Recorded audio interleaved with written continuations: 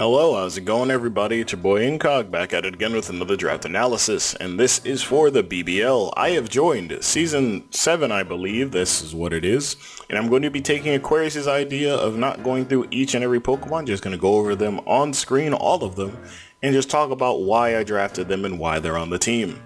If you like this video, leave a like, comment, subscribe, check out all the other BBL coaches down below in the description.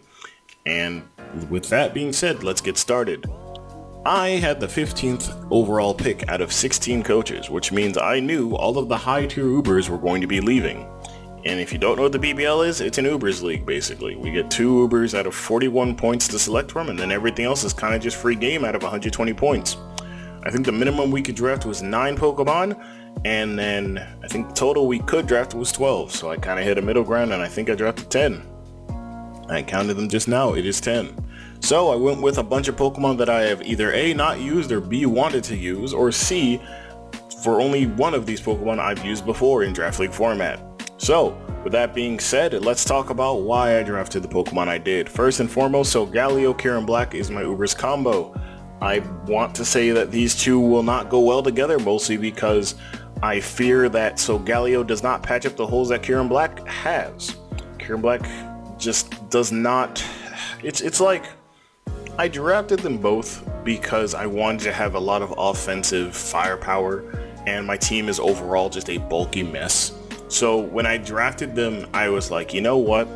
I want these two to work in tandem with each other because at first I had double fighting types until I made my transactions. And having double fighting types is not a good idea. Wouldn't recommend it. So I'm not doing it this time. Um, this, however, let me do this. Solgaleo is a Steel Psychic type, and Kyurem Black is a Dragon Ice type. As far as I understand it, I might have to put something on screen here, but I don't recall if they share any weaknesses. But Solgaleo is not immune or still takes regular damage from fighting. And that's kind of a problem when there's an Urshifu running around. You know what I mean? A fighting dark type that will also beat the shit out of both of these Pokemon. Because I initially had Urshifu, single strike and I dropped it because I didn't want to use it this league and I was planning to use it in a different league. Which does not bode well for the rest of my team, I guess. But I kind of took these two guys and I said they're physical, they're offensive, and they hit like a truck if I allow them to. And they can break a game open by themselves, and honestly, the thing about Solgaleo that I like as well is that Solgaleo gets teleport naturally from Gen 7. So, like a lot of Pokemon that get teleport, it it's kind of one of those weird ones. But it gets teleport without wish, so I guess it's not that big of a deal, but it gets teleport. So I get teleport with Solgaleo out of a situation where someone's going to switch out and then I can get in my Pokemon. Since teleport had its buff from Let's Go, I'm pretty sure, this is a really fun buff.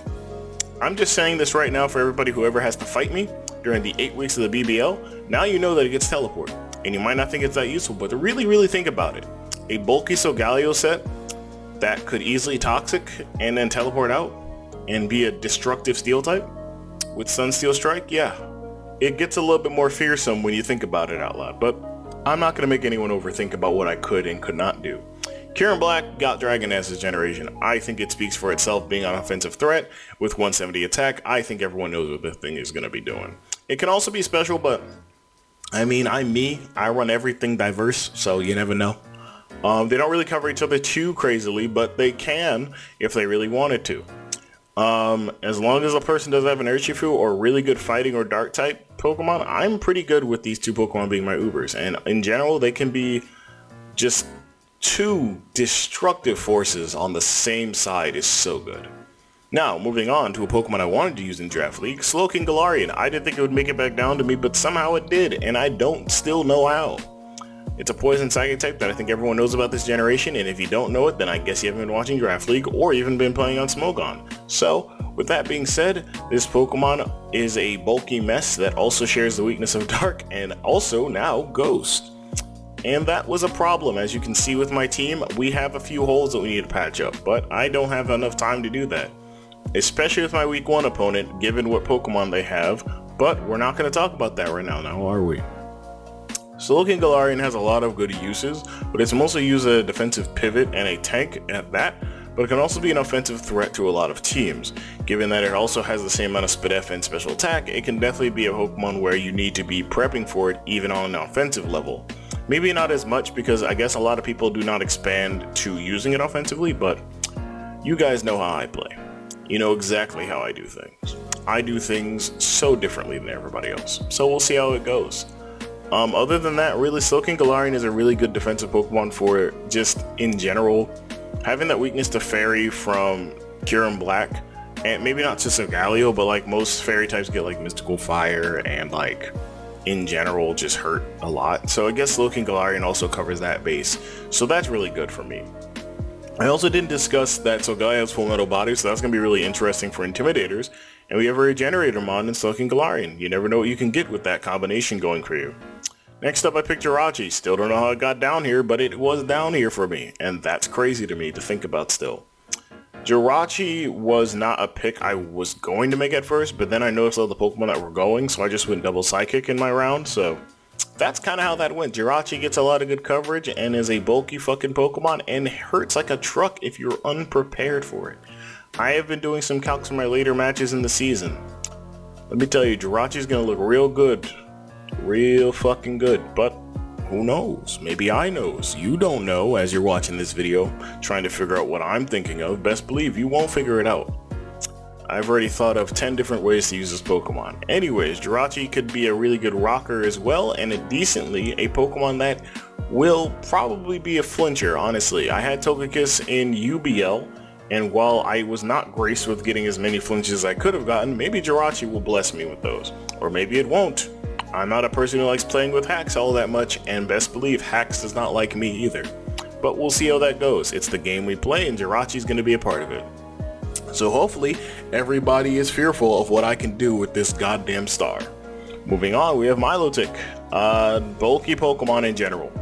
It's a good bulky water and I took it because I wanted it and I really wanted Vaporeon actually, but then I said to myself, self, let's grab Milotic. Let's see how this one goes. I want to say that we might use it physical one week, but I also have not looked too in-depth at my matchups, but it is a Pokemon that I think has a lot of good utility outside of just being the Spadef wall that also can be a defense. It's just a real, just a defense Pokemon with Flame Orb plus Marvel Scale and then really just a good chunk of Spadef. But then like, honestly, you could use as an offensive threat and no one would beat you with it because it has such good utility, I would argue. But in an Ubers League, maybe that doesn't matter. I know that my first four picks are probably going to do pretty well in an Ubers League, but my, everything else afterwards, maybe Keldeo. But Milotic, eh, we'll see. But I know the top four will work. We'll see how Milotic goes. It's a good bulky water, and uh, you know, not a lot of Pokemon are breaking this motherfucker, I tell you that. Next up we have Talonflame. I wanted a Pokemon that had Tailwind really, and originally I had Registeel. Originally. The only reason I dropped Registeel is because I made a bunch of transactions and I was one point over the amount. And Registeel was 10 points, Talonflame was 9. Rip my boy Registeel. But that doesn't fucking matter because Reg uh, Registeel doesn't do what Talonflame does. Talonflame can set up Tailwind, can burn its opponents with Flame Body or Will-O-Wisp, and also can be an annoying fuck with Toxic, Sub, and other things. If you thought seeing a Raikou sub up and toxic you and then sit there and stall you was annoying, imagine a Pokemon slightly faster and on top of which gets recovery. Yeah, not a good situation for anybody involved, I'll tell you that. It's not as bulky as Raikou, but let me tell you, I might be an annoying fuck with this too. Anybody who knows the Raikou reference knows. Uh, but is definitely going to be more of a Tailwinder, more of my default option because I only have Rapid Spinner and Avalugg, which is on screen. And I'm probably not bringing Avalugg that much. I'm going to keep it a stack with you guys, but hey, who knows? My matchups probably do not call for Talonflame and they might call for Avalugg. We'll see how it goes.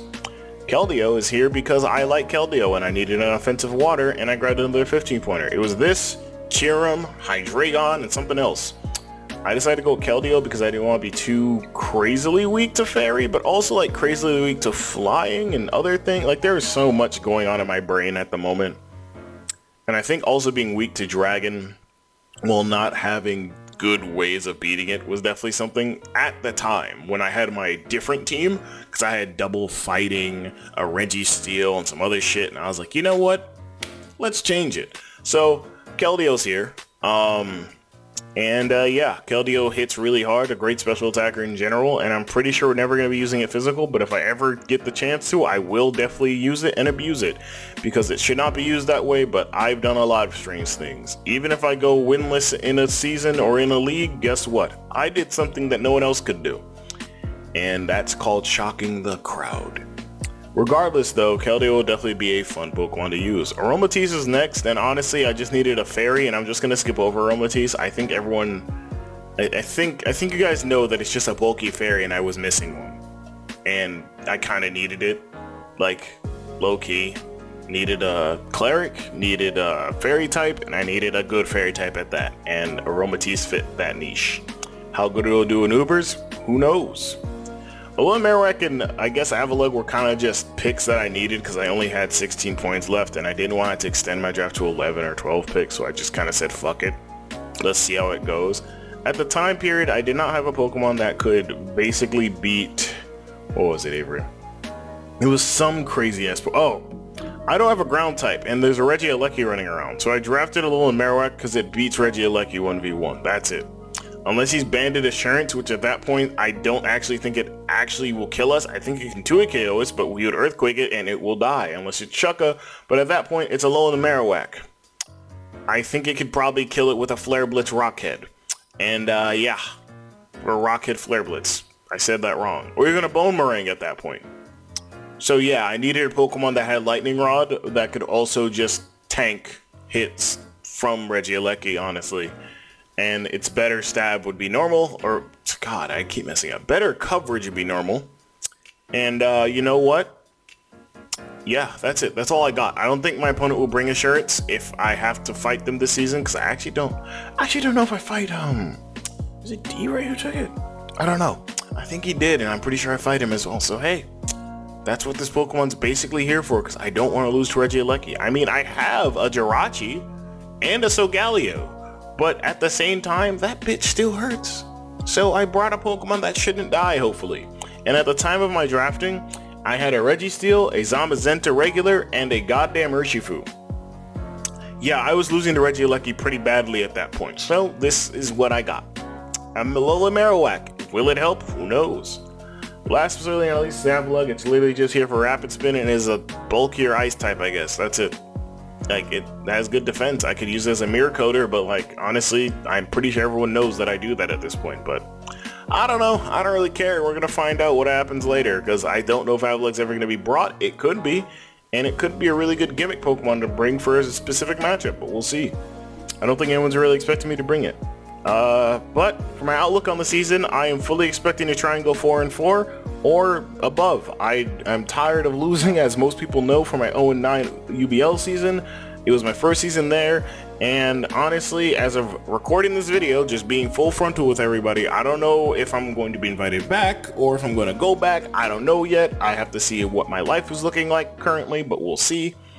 But hopefully we can do really well in BBL. I know my team, it looks a bit lackluster if I'm not going to cap with you guys, but hey, we're still going to give it all we got and we're going to be entertaining at the same time. A skill that I don't think most people have. So with that being said, hopefully you guys liked the video. If you did like the video, subscribe and check out everyone down below in the BBL. And I think week one we face, hold on.